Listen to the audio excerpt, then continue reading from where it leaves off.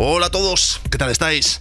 Hoy vamos a estar hablando de una historia que todos habéis escuchado y que a todos nos encanta. Es esa historia en la cual un personaje o persona promedio, ¿no? digamos de ese nivel intermedio, pues la persona que lo hace bien, digamos, pero no es una estrella, pues de pronto se encuentra con una oportunidad. Alguien abandona su puesto, hay una catástrofe, hay una circunstancia de extrema necesidad y este personaje de pronto encuentra el potencial que tenía dentro, explota y se convierte en una estrella. Además, curiosamente, esto que estamos hablando ahora, esto que estoy comentando, se aplica tanto al dibujante del cómic que vamos a estar ojeando, como al personaje que lo protagoniza.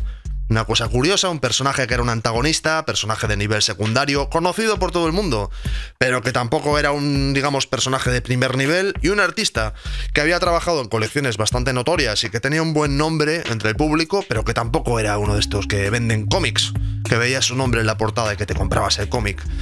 Ya os digo, un producto muy noventero, muy potente y que va a merecer la pena, ya que hoy vamos a estar hablando de Dientes de Sable, Sabertooth, dibujado por Mar Teixeira. Espero pronunciarlo bien porque nunca he sabido muy bien cómo se dice, amigos. Quedaos por aquí porque esto os va a gustar. Mirad qué portadón. Soy Samuel M. Jackson con M de Magneto y estás en cómics, mentiras y cintas de vídeo. Si te interesa este tipo de contenidos, ya sabes, cómics, contenidos artísticos así un poco delirantes y demás, suscríbete al canal, dale un me gusta, compartir, etcétera. A ver si me hacéis rico de una vez y ya puedo, no sé, retirarme en Miami. Y vamos con el vídeo. 3, 2, 1, grabando. Bueno, y aquí tenemos la portada, que ya la habéis visto. Dientes de sable, la Rijama Marteseira. Mirad qué portadón, con mística, con este mechero y esa copa. Evidentemente queda claro que no va a pasar nada bueno en este número. Mirad los colores, qué potentes son. Marteseira en esta época pintaba además sus portadas y era muy, muy poderoso. Este cómic es de 1993 cosa que no es ningún dato así anecdótico, porque, como bien sabéis, si habéis visto los vídeos de este canal, voy a intentar decirlo rápido para no repetirme en exceso, en 1992 debuta Image Comics. Image Comics, pues como espero que sepáis ya a estas alturas, si no lo sabéis qué estáis haciendo, insensatos, os pongo aquí arriba el vídeo en el cual resumo el primer año, eh, básicamente en un sello que fue formado por los dibujantes superestrella de Marvel. Para entendernos, Marvel se quedó durante un instante sin sus dibujantes principales. Entonces, para poder seguir compitiendo, Marvel tuvo que pillar a sus dibujantes, digamos, de la casa, entre comillas, y proyectarlos. Decirles, chavales, necesitamos que deis el do de pecho, poneos las pilas, haceos más extremos que nunca, podéis exagerar vuestros dibujos al máximo, podéis hacer lo que antes no podíais porque no había sitio, y entre ellos estarían, por ejemplo, John Romita Jr., que sigue siendo muy famoso a día de hoy, o este, Marteseira, que fue un poco no voy a decir flor de un día porque está feo, pero fue un poco un dibujante muy de este momento, muy de este momento, muy concreto. No es un dibujante que haya seguido siendo una estrella hasta el día de hoy o que incluso más adelante en los 2000 siguiese siendo un número uno, ¿no? A pesar de que era un tío con un estirazo tremendo. Bueno, ya seguimos un poco con el contexto. Como veréis, el guionista es Larry Hama y esto tiene mucho sentido. Ya hablaremos de él en un futuro porque Larry Hama es el guionista que se tiró un mogollón de años con Wolverine, con Lobezno. De hecho, yo me atrevo a decir que es el mejor guionista de la mejor época de Wolverine. Yo he leído casi todos los cómics y para mí es la mejor, sin duda alguna. Cuando se marchó su dibujante, el dibujante de Wolverine, que era Mark Silvestri, para fundar Image Comics y crear la colección Cyberforce, pues se quedó ese hueco libre dentro de la colección de Wolverine y entró durante una pequeña temporada Marteseira. Vale, Dientes de Sable en esa época llegó a un pico de popularidad tan alto este personaje que decidieron darle su propia serie limitada. Y este que estamos viendo, ojeando ahora mismo, es la serie limitada, que no sé si era tres o cuatro números, que salió originalmente, que le proyectó como un personaje que en estos años era de lo más top de la familia de X-Men. Este era un personaje total. Y bueno, como veréis esta página doble, mirad esta página doble de dientes de sable, mirad los músculos hinchados, mirad el tamaño brazo. Esa avena que se le cruza sin venir a cuento. Mirad eh, las proporciones absurdas que tiene el personaje, el tren superior, la tinta oscurísima, sucia, super guarra que tiene aquí Martesera, que no se distingue prácticamente nada, lo cual le da ese punto brutal. Y luego el desparrame de ninjas que tiene alrededor el personaje. Esta página doble es, aparte de ser años 90, dan ganas de mandarla a imprimir y hacerse un póster enorme, ponerlo en la habitación para verlo cada día cuando te levantes por la mañana. O sea, es pura testosterona, en fin.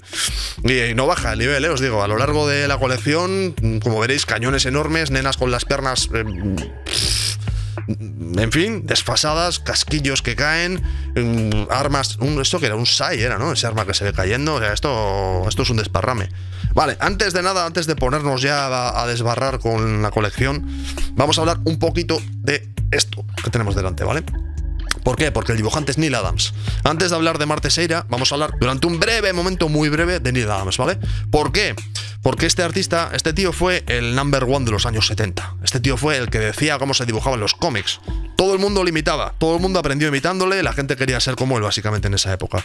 Y este tipo, digamos que creó una generación de artistas jóvenes que querían ser como él. Y dentro de esta generación nos encontramos a este Martesera. Os voy a enseñar algunos dibujos dibujados por Neil Adams, a ver si encuentro la, la historia más mítica que tiene este especial, que igual lo vemos aquí en el canal en algún momento, que es este, sí hay un momento en el cual esta página doble es épica de los años 70, es un clásico. Mirad las líneas que tiene, mirad las proporciones de las caras, mirad el, cómo está compuesta la página, el dramatismo, ¿no? El dramatismo que tiene el cuerpo en las anatomías y todo este rollo.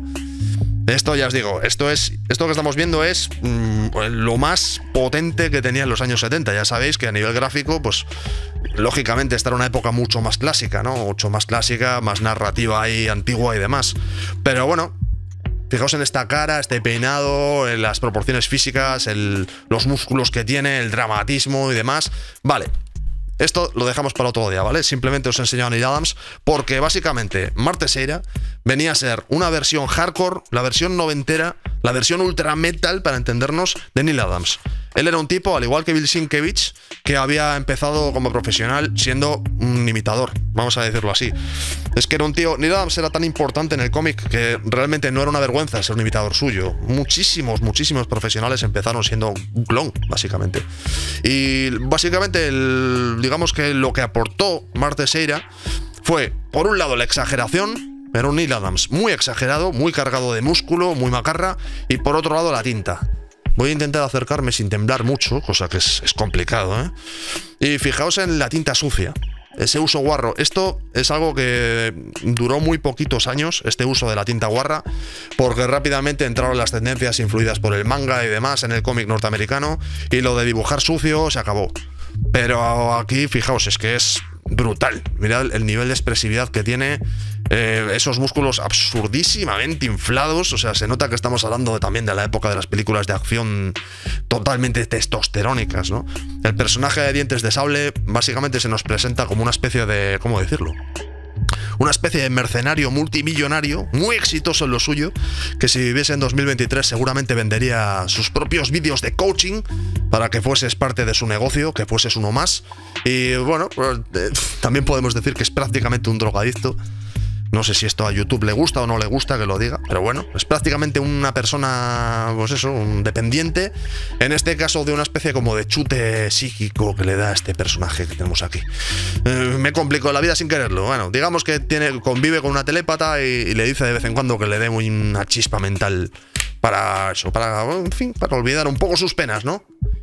Y como veréis, pues este tipo hipermusculado que está subiendo las escaleras, pues es Dientes de Sable, el malo oficial de Wolverine, que aquí pues se nos presentaba como una especie de tipo malo. Aquí sonaría música rock and roll si fuese una película. Mirad qué macarrada los monumentos que tiene en la pared, que tiene estas dos manos sujetando un hacha. ¿Vosotros os imagináis en vuestra casa tener como trofeo estas dos manos sujetando un hacha? Tiene aquí, ¿esto qué es? ¿Esto es un jabalí, un rinoceronte? No sé exactamente. Un jabalí, ¿no? Es difícil de decir porque con Martes era lo que es claridad, claridad de los dibujos, no. Hay mucha potencia, pero claridad no, no se termina de entender. Bueno, a ver, la chica, como veréis, curiosamente parece que acaba de salir de la ducha. Eh, bueno, la cosa es que, que le traiciona y deja entre un cuerpo de tipos duros. Fijaos cómo se parecen estos tipos duros a los tipos duros de la película Depredador, que también en sí era una demostración de musculatura bastante potente la película, ¿no? Bueno, va a aparecer dientes de sable, se va a enfrentar a ellos, porque este es un cómic que no es un cómic como Watchmen, no es un cómic que con su guion te vaya a deconstruir a los personajes, sino que es un decálogo de destrucción marvelita total. Y bueno, pues Marte Seria nos va a demostrar que lo suyo es Mm, desfasarse con las proporciones y, darte un, chute de, desproporción y testosterona bestial, ¿no? A mí es un dibujante que me gusta mucho, ¿eh? Reconozco que se quedó pasado de moda muy poco tiempo porque su estilo sucio y exagerado, eh, lo que os decía antes, pues que rápidamente aparecieron tendencias nuevas, ¿no?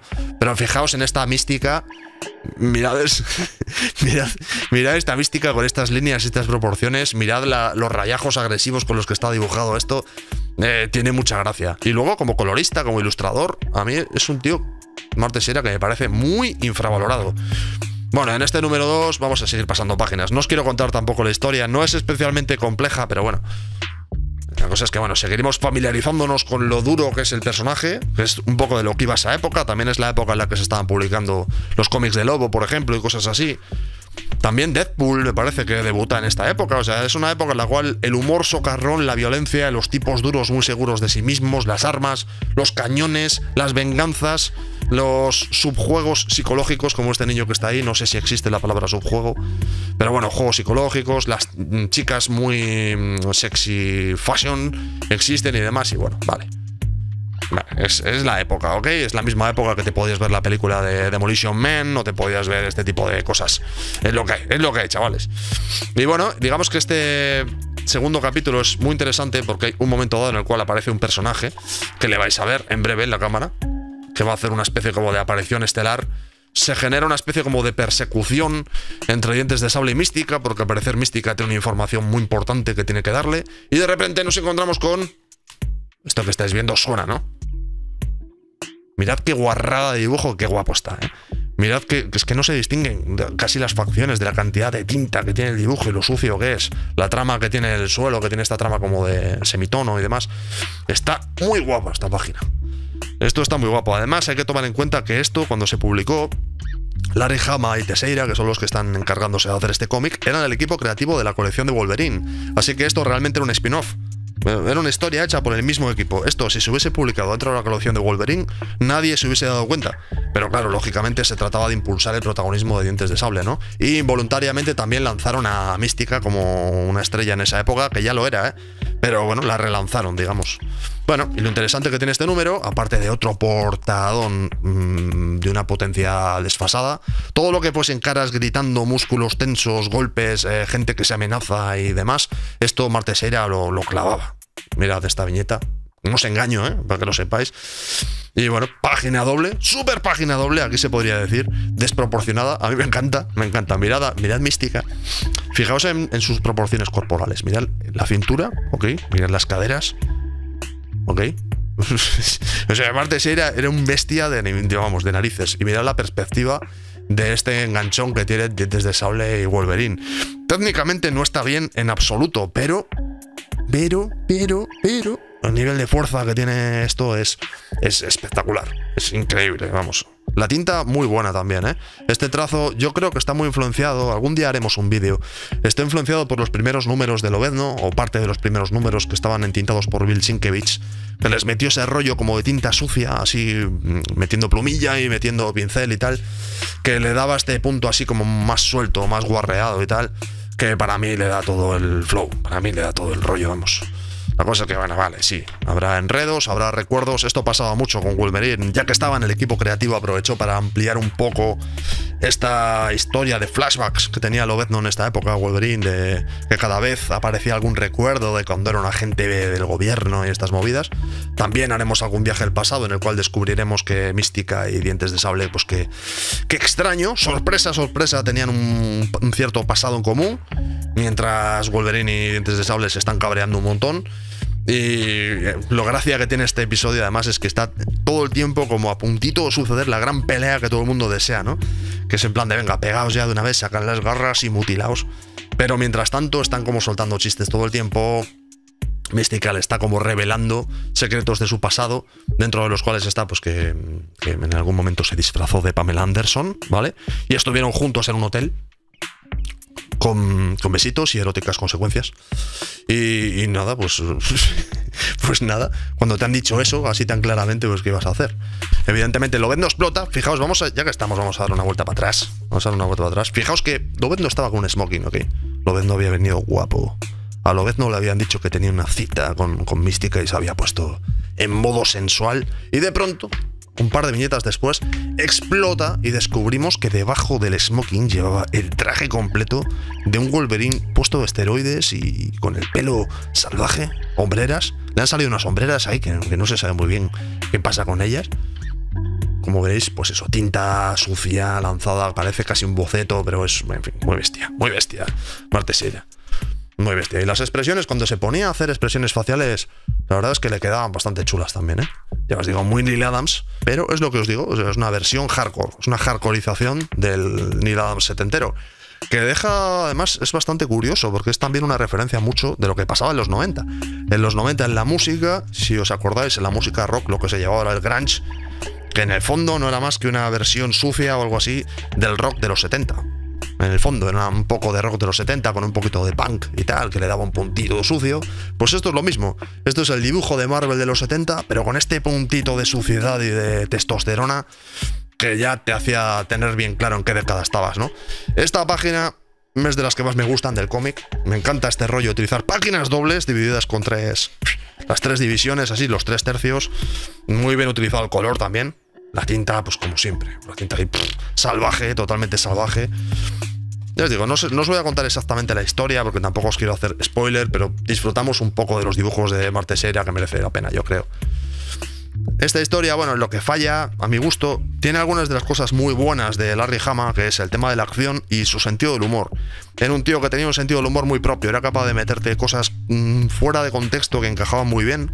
Además, al tío es como que le gustaba la tecnología, pero es como que tampoco terminaba de entenderla. Entonces, eh, sus referencias a Internet o a guerras tecnológicas o a gente que compraba acciones de bolsa o demás no eran realistas, estaban hechas en plan a lo, a lo salvaje y quedaba bastante curioso. El punto flojo, como os decía antes, el antagonista que se inventan para la ocasión es muy random solamente voy a utilizar esa palabra una vez en este vídeo, ya lo he utilizado, ok.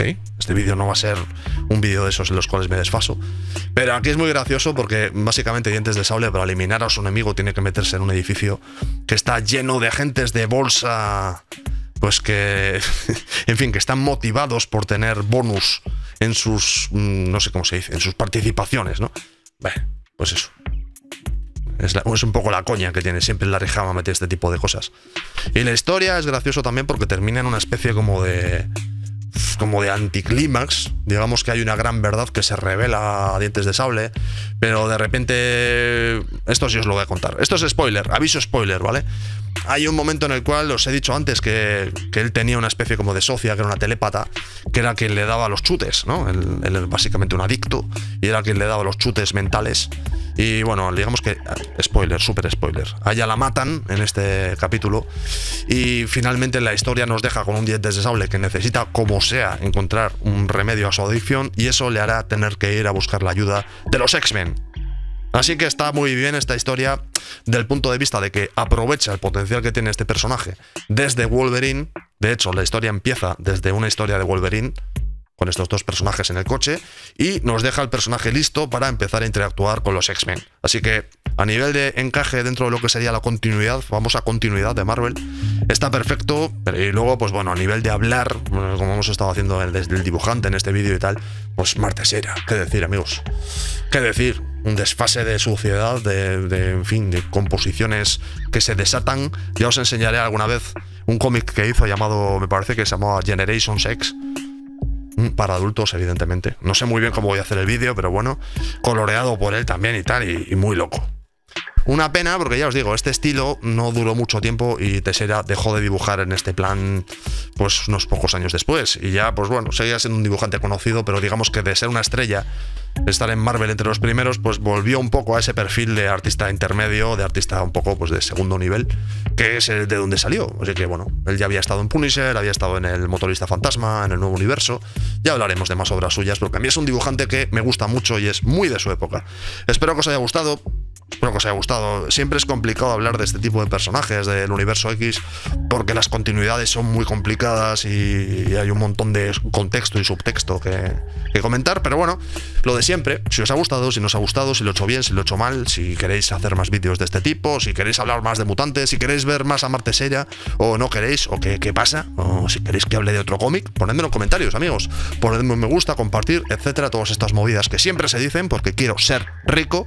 Y nada, volvemos en un futuro con más cómics, mentiras, cintas de vídeo, etcétera. Lo que sea. Mientras tanto, pasadlo muy bien, amigos. Nos vemos pronto. Un abrazo.